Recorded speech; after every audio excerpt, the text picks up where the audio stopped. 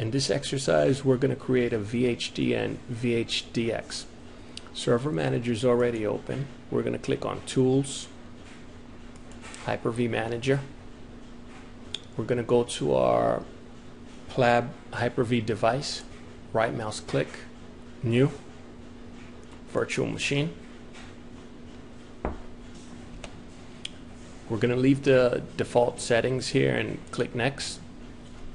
We'll name our device PLAB.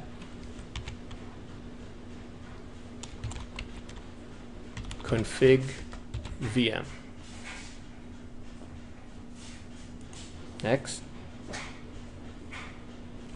So now on this screen we have our choice of um, generation 1 and generation 2.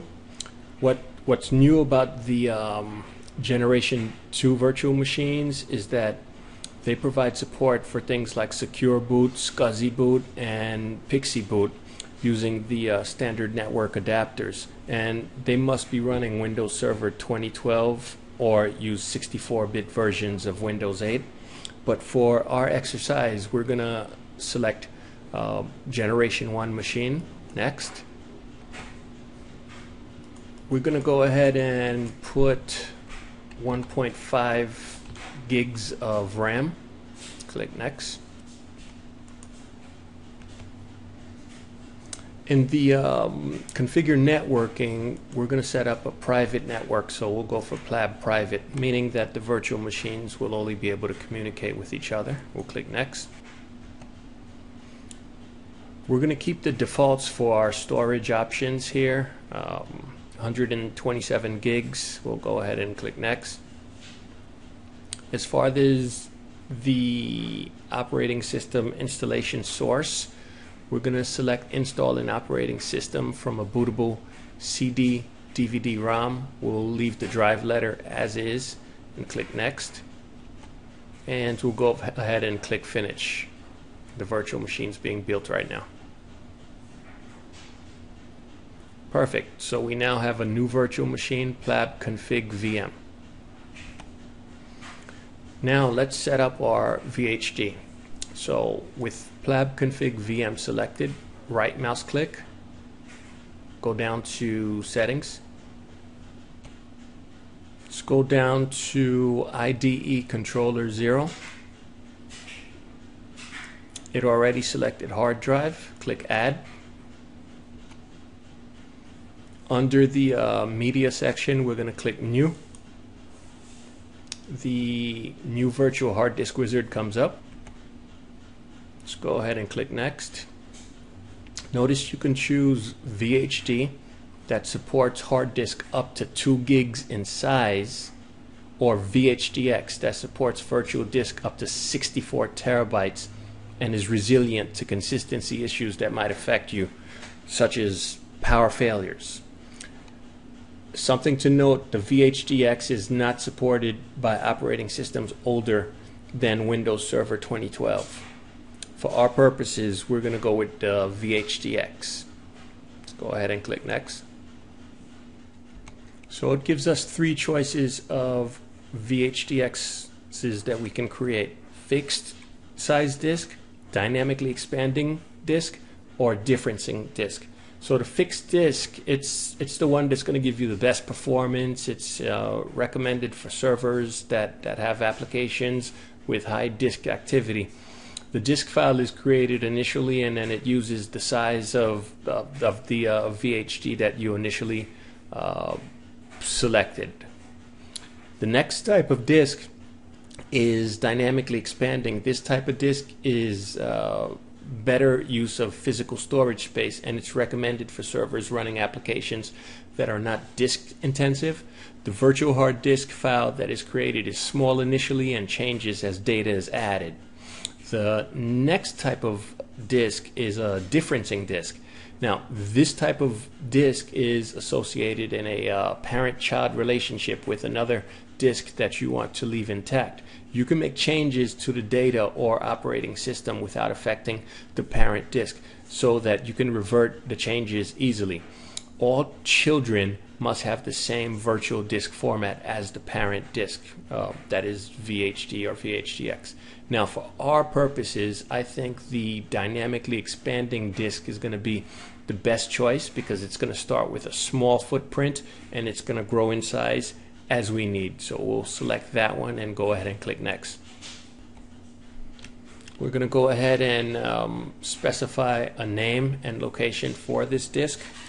We'll call this one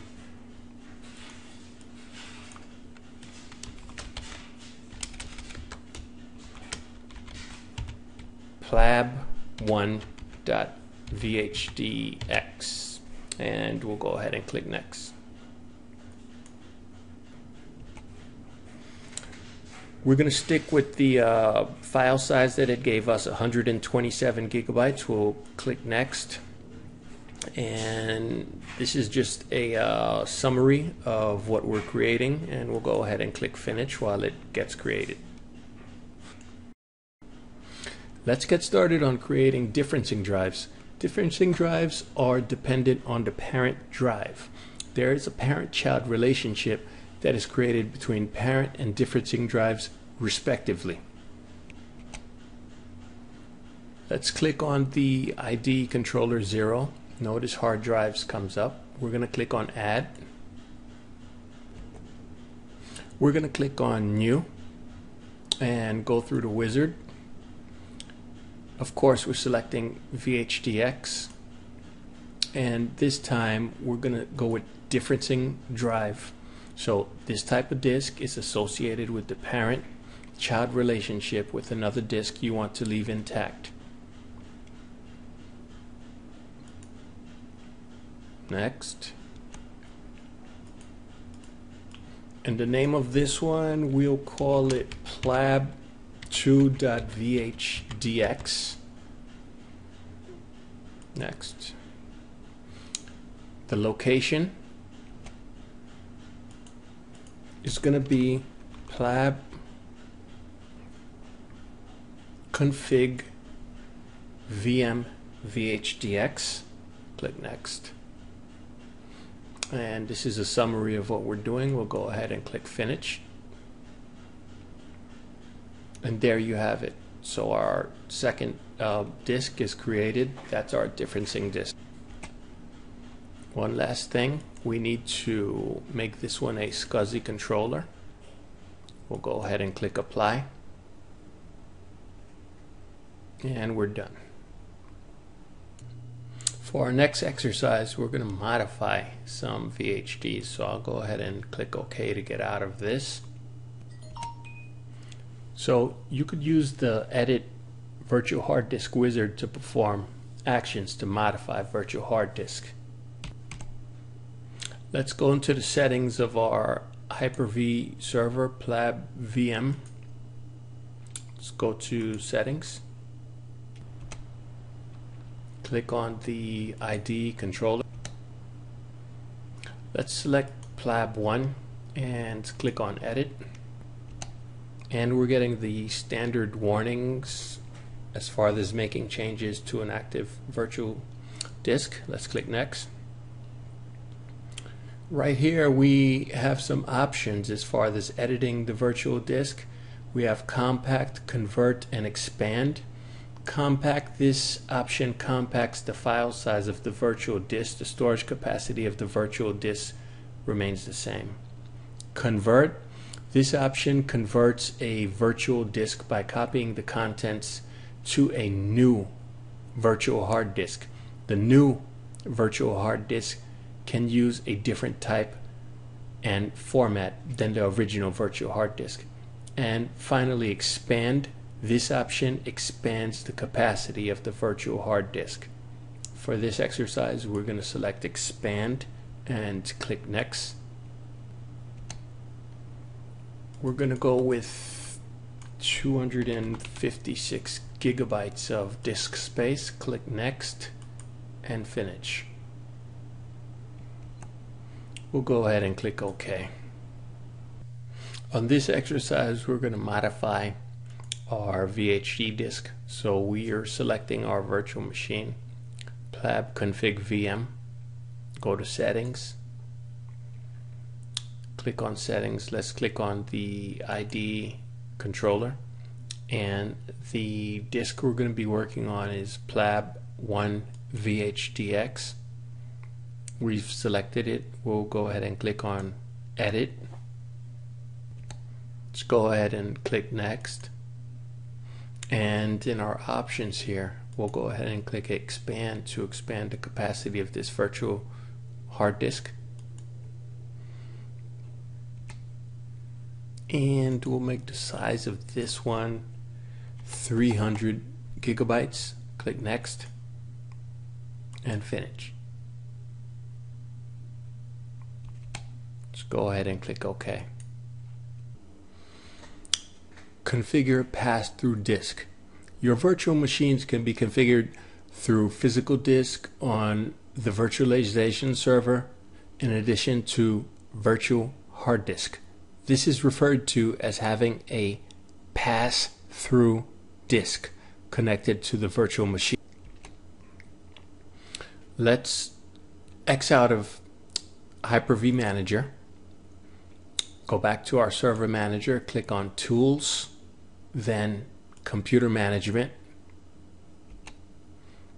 Let's click on Disk Management.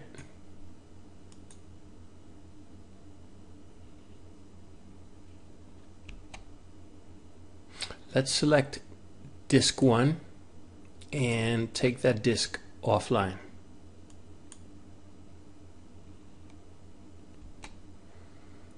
Let's go back to Server Manager, Tools, Hyper-V Manager. In this segment, we'll be talking about managing VM checkpoints. Microsoft calls them checkpoints in Windows Server 2012 R2, but they were previously known as snapshots. We're going to be working with our Win 802 VM. Right mouse click, connect. Green button to turn it on.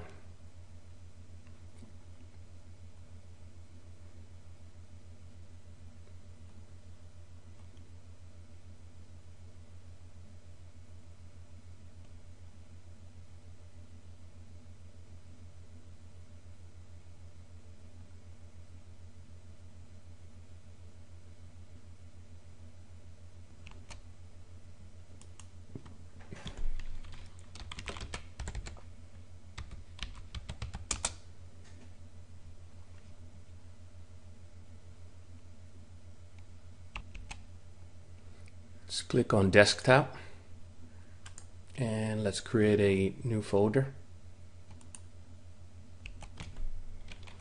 Call this one marketing.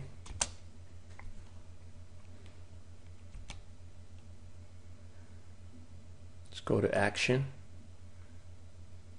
checkpoint. The checkpoint name is going to be simply with marketing folder. Let's click yes. Now we're going to go ahead and select the marketing folder. We're going to delete it. We're going inside the recycle bin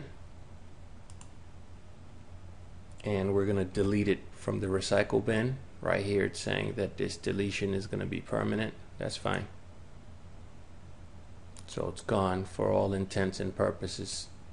Now if we go back to action and select revert,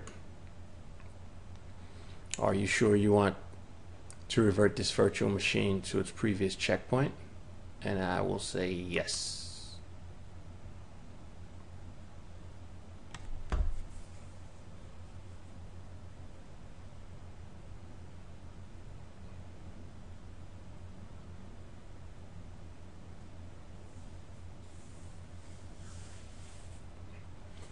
And there you have it. Our marketing folder is there.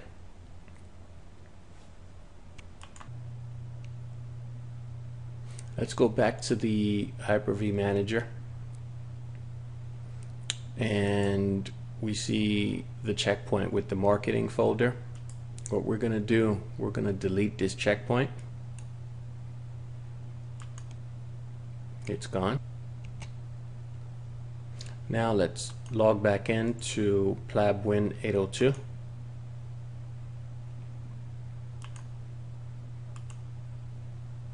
We're going to delete the marketing folder, go into the recycle bin, delete it permanently. Action, revert, yes. Let's power on Win 802.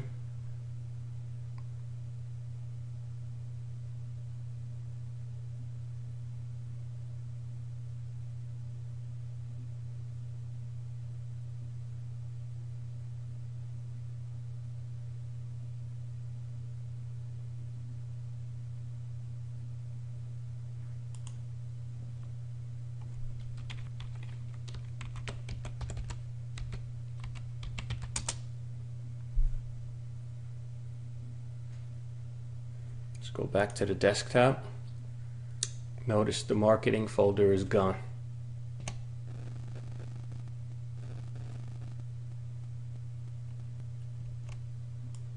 Shut this machine down.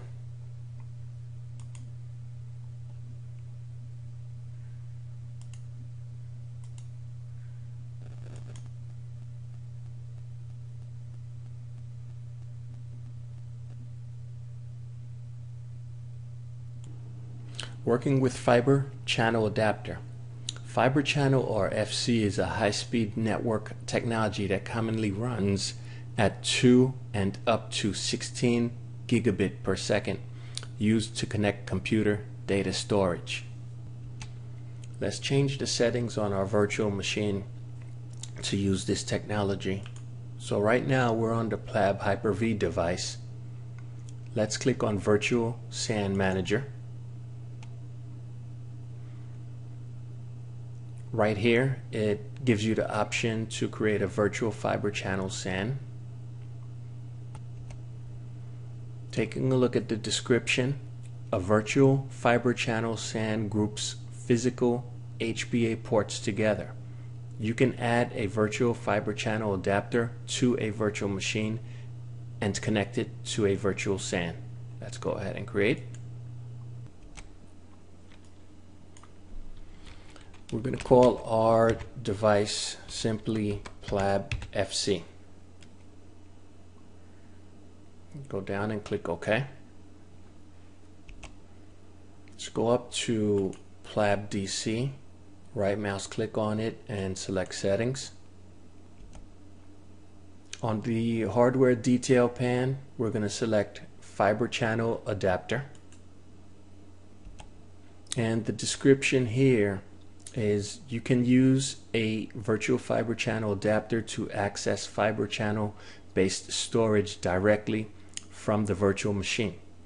Integration services are required in the guest operating system to access fiber channel based storage. Do not attach a system disk to a virtual fiber channel adapter. System disk must be attached to an IDE controller. And let's go ahead and um, add our fiber channel adapter. Let's go to our fiber channel adapter and add PLAB FC. Click OK. We're redirected back to the Hyper-V Manager. Our virtual fiber channel is now set up. Thanks for watching.